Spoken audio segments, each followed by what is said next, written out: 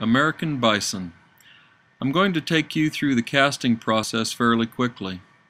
After I finish sculpting a piece, a silicon rubber mold is applied in sections.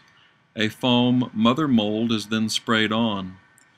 The mold sections are removed from the sculpture and then cleaned up. The rubber mold is put back together and several wax layers are coated inside the rubber mold.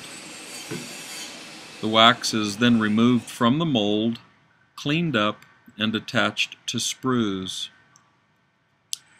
The sprued pieces are then dipped into a silicon gel slurry and then dipped into a silica sand. The applying of the silica slurry and sand is repeated 9 to 10 times.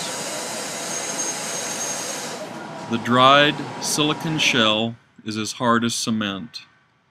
The silicon shell is heated to a thousand degrees and all the wax melts out.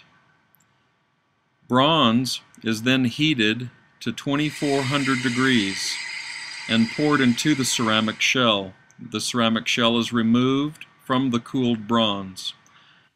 The bronze pieces are then welded together. The weld seams are then cleaned up with a series of grinders. Notice the yellow strap above the sculpture. Occasionally we have to use a winch to lift the big ones.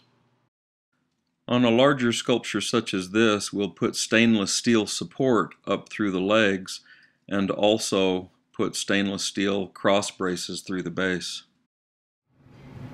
Here, bronze shims are being added to make sure that the base is level.